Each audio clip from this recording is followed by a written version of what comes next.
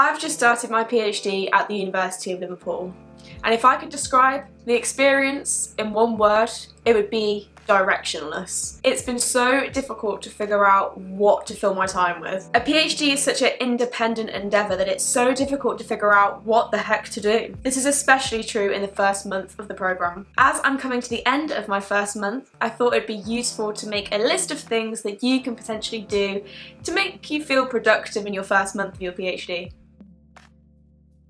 If you're new to the channel, welcome. I'm Dina. I'm documenting my whole PhD journey from start to end, as well as providing tips and tricks along the way. Please consider subscribing and checking out my other social media pages in the description. Another really great video on this topic is by PhD in Productivity. I'd really recommend going to check that out as well.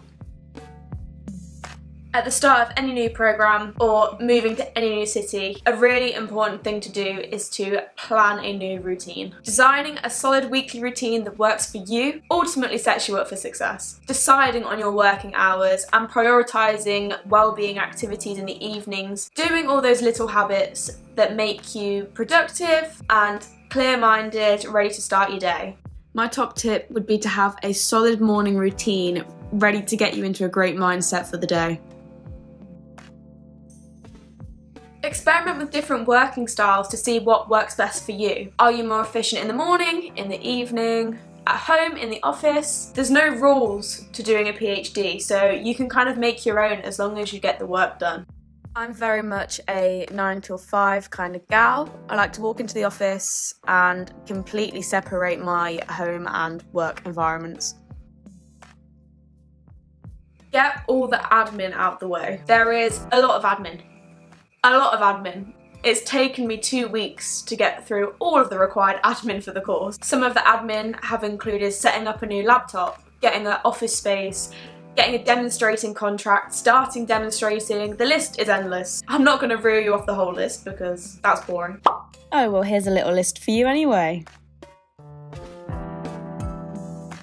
Get to know the people in your office. Ultimately, the relationship between other postdocs and other PhD students is going to be just as valuable as the relationship with your supervisor. So talk about your experience with other PhD students. You'll find that there are a lot of relatable experiences.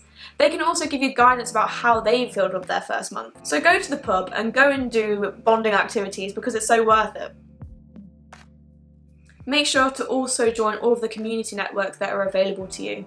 So for example, I'm part of the NERC student network, I'm part of Peer for PhD students. There's usually loads of different groups where you can meet new people and talk about research. If you don't have academic social media pages, make them. And if you do have them, make sure that you've updated them. Pages can include Twitter, ResearchGate, ORCID, Google Scholar. Make sure your academic profile is nice and updated. And once you've got all the pages set up and ready to go, start connecting with other academics. Building this network is so important for your future career. I think the most obvious thing to do at the start of a PhD is to get reading around your topic. Reading is how you find research gaps in the literature and develop your research aims. And once you've got those research aims, it's a lot easier to find direction. I also recommend writing writing right from the start. I synthesize ideas better by writing, so I write as I read.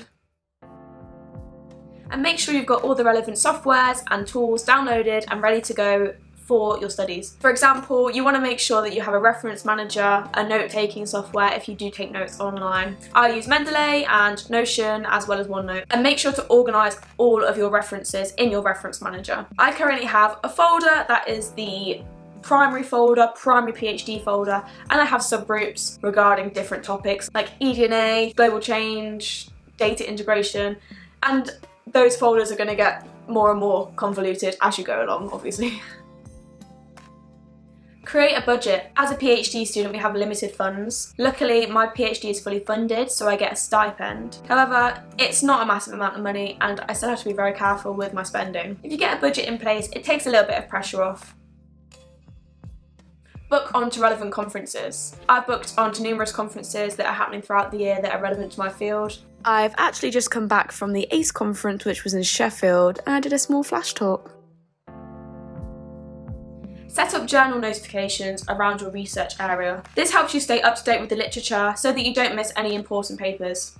The journal notifications usually come through as an email that you can just kind of check through and add any papers that you think are relevant. You'll have access to a lot of development and training webinars. I'd recommend trying to get the ones that are already available out of the way with. They also help to give you a bit of direction. We have a separate Liverpool Doctoral College which provides us with workshops around general PhD skills. So we have workshops on writing, presentation skills, time management, all of which are very important for getting through your PhD efficiently. Schedule your first supervisory meetings. You might just have one supervisor. Uh, for me, I have got four, so I think there's a lot more prep that's involved when you have more supervisors because you want to make sure that the meeting is nice and structured and you present information in an efficient and clear way for everyone. Get to know your supervisors as well. Research what their fields are and spend time with them. Get to know them as a person. Another thing I'd really recommend getting into straight away is demonstrating. I find teaching a very rewarding experience and I wanted to get stuck in straight away so I actually started demonstrating in my second week. It also helps you get back into that academic mindset to go through some of the course content for the undergrads. It's a great way to get a little bit more cash and also to kind of take a mental break away from your PhD.